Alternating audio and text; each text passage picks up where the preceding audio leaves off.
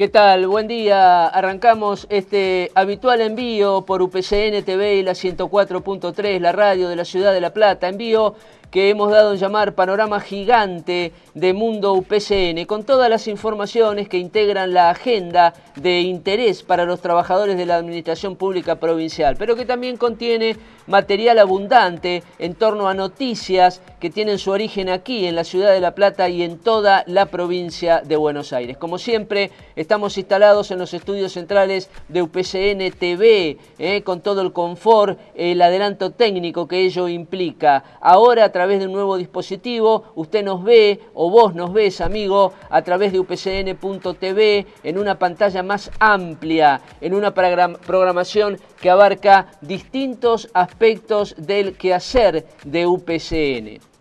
Para empezar eh, informativamente hablando, nos situamos y nos ubicamos en eh, un tema que ha sido motivo de diversos encuentros en filiales y en delegaciones de UPCN de toda la provincia de Buenos Aires. En estos últimos días se celebró el Día del Auxiliar, auxiliar docente, auxiliar sanitario, y ello ha motivado distintas reuniones, distintas fiestas que se han llevado a cabo con una importante presencia de afiliados y de familiares en eh, ciudades del interior de la provincia de Buenos Aires. Desde la Prida, Vanessa Beatriz Beltrán, que es la delegada de UPCN, nos eh, anuncia, por ejemplo, que mm, tuvo lugar una celebración em, en esa ciudad, en La Prida, eh, ciudad perteneciente a la zona de, centro de la Secretaría de Interior de UPCN, que contó con la participación de importante cantidad de personas. Algo similar ocurrió en Malvinas Argentinas.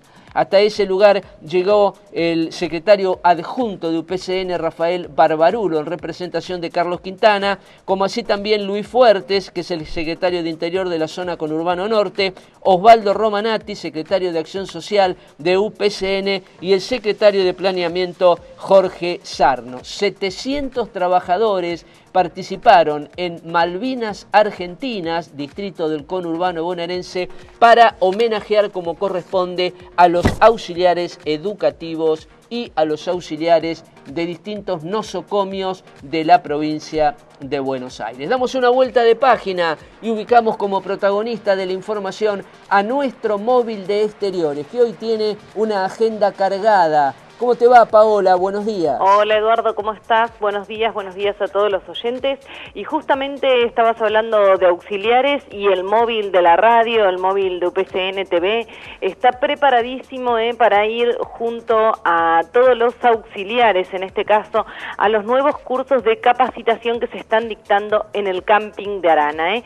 Vienen hace un tiempo, sabemos que se han desarrollado por toda la provincia de Buenos Aires con mucho, pero mucho éxito y de hace unos meses a esta parte se están eh, desarrollando eh, con gente de diferentes ministerios dentro de lo que es el gigante de Arana. ¿eh? Ahí los reciben como todos los miércoles a cargo de Patricia Will, de Mónica Labarté, Olga Fernández y hoy también sumado a las charlas como todos los miércoles va a estar Carlos Magaril, él es justamente de la Secretaría Gremial No Docente y va a estar hablando también el secretario gremial de UPCN, Julio Zárragoy Cochea.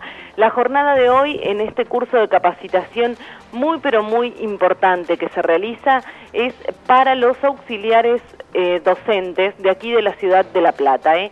El miércoles pasado también habíamos estado dialogando con ellos, pero es tanta la masa de auxiliares que ha demandado ir a estos cursos de capacitación justamente que se ha dividido en dos grupos, así que nuevamente recibimos hoy auxiliares docentes en el camping de Araná. Recordamos, Paola, que todos los miércoles se están llevando a cabo estos cursos de capacitación que son un éxito, que se desarrollan en el camping de 89 y 143 en Arana, en La Plata, y que como vos bien decías, va a dar comienzo, mm, mejor dicho, ya dio comienzo a primera hora de hoy y se va a extender durante toda la jornada. En consecuencia, nuestros equipos móviles, con Paola, con Betty, con todo el equipo de UPCN TV y la 104.3, van a estar emitiendo desde ese lugar con todas las alternativas de lo que allí ocurra.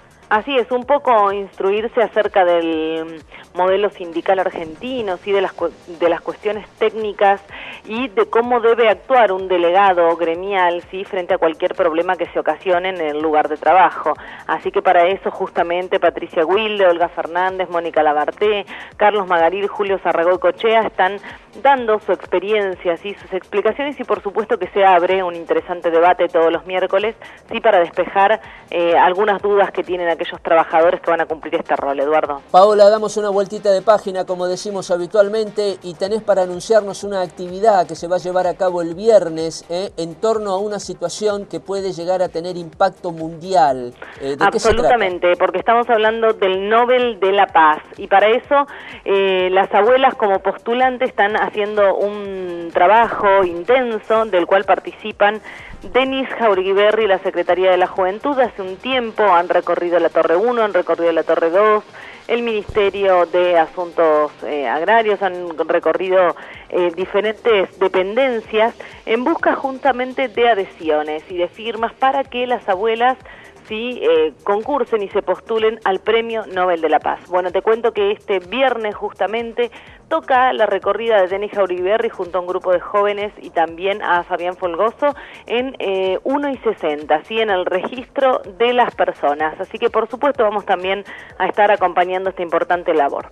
Paola, vamos a estar en contacto permanente contigo. Seguramente todo el material también va a estar en el panorama gigante de la tarde con Carlitos Rabazo. ¿eh? Por supuesto, ahí toda la información y todos los detalles. Nosotros seguimos en contacto, Eduardo. Gracias y hasta cualquier momento. Hasta luego. Estábamos en contacto entonces con uno de los móviles de la 104.3 de UPCN TV, cubriendo todas las actividades que tienen que ver con UPCN, pero también eh, naturalmente con todas aquellas actividades que son de sumo interés para los trabajadores de la administración Pública de la provincia de Buenos Aires. En los últimos días dábamos cuenta de una situación conflictiva que se había planteado en el Instituto Cultural de la provincia de Buenos Aires. UPCN había mantenido su firmeza en torno a planteos em, derivados de la situación irregular que afectaba a más de 400 trabajadores que están enrolados precisamente en ese organismo, el Instituto Cultural de la provincia de Buenos Aires, a cuyo cargo se encuentra el ex jefe de gobierno gobierno de la ciudad de Buenos Aires, Jorge Tellerman.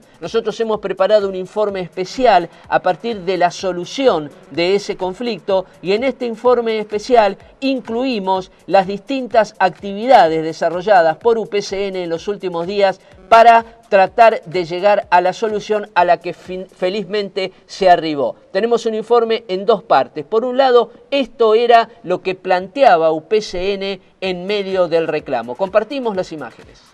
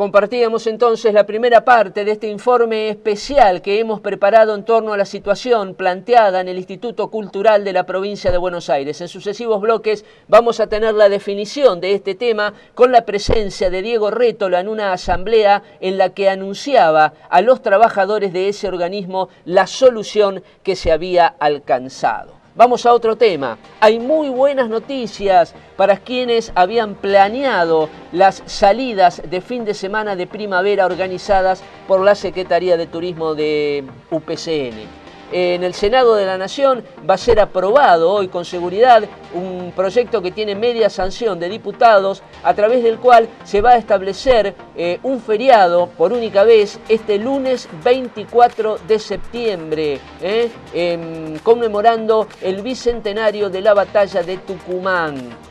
A raíz de esta situación se va a ver facilitado el plan de mini turismo previsto por UPCN el 22 de septiembre con una salida a las termas marinas y a San Bernardo. O sea, que el fin de semana de la primavera, que se inicia el 21 de septiembre, viernes, va a terminar constituyendo un fin de semana largo, ya que el lunes 24 va a ser con seguridad no laborable. De todas formas, insistimos, esto depende de la sanción de la ley que casi con seguridad va a estar eh, aprobada durante la sesión que el Senado de la Nación va a llevar a cabo en el día de hoy.